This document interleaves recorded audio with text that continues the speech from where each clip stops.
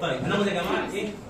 ال future forms اللي هي أشكال الايه المستقبل. خدنا أول شكل اللي هو مين؟ will plus infinitive اللي هو will زائد الايه الفعل في المصدر. فاكرينه؟ كان بيعبر عن إيه؟ أول حاجة حقائق في المستقبل. لو عندي حقيقة في المستقبل تمام؟ إزاي مثلا؟ وليكن مثلا في شخص عنده 15 سنة و11 شهر يبقى هو الشهر الجاي هيبقى عنده كام سنة؟ 16 سنة تمام؟ يبقى فاضل إيه؟ شهر. ده دي حقيقة فين؟ في المستقبل تمام؟ أقول مثلا علي will be كام 16 next month. هيكون عنده كام سنة؟ 16 سنة الشهر الجاي تمام؟ فدي أول حاجة. حقائق فين في المستقبل؟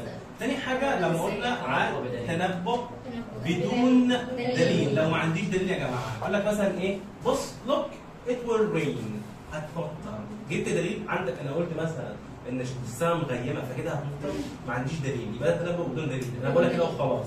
تمام؟ أقول ات ويل رين tomorrow. يعني الدنيا هتمطر إيه؟ بكرة. تمام؟ ما عنديش دليل. طيب ثالث حاجة اتخاذ قرار سريع. تمام؟ يعني مثلا أقول the bell is ringing. تمام؟ بيقول لي إن الجرس حد بيقول لي the bell is ringing. الجرس بيرد بيرن. تمام؟ فأنا أقول إيه؟ I will answer. يعني إيه؟ هفتح الباب. تمام؟ يبقى the. uh, the bell اللي هو الإيه؟ الجرس is ringing.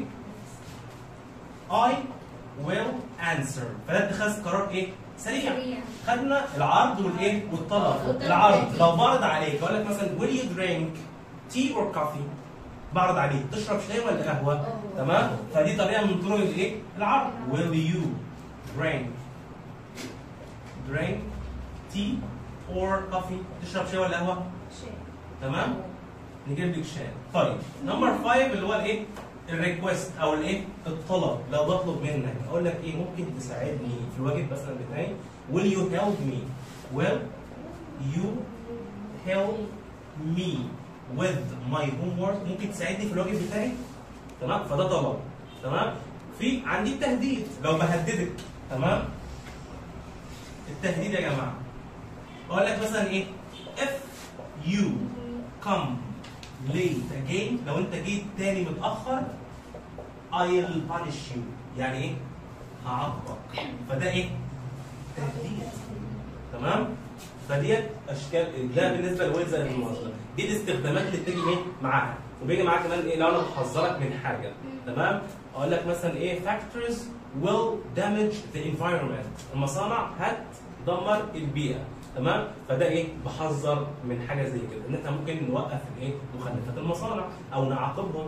Am واز are going to plus in infinitive طيب دي كان لها برضه استخدامات معينة زي التنبؤ بالإيه؟ بدليل لو عندي دليل بقى يا جماعة أقول لك مثلا إيه؟ it's getting cloudy يعني الدنيا إيه؟ ملبدة بالغيوم تمام؟ يبقى هي هت إيه؟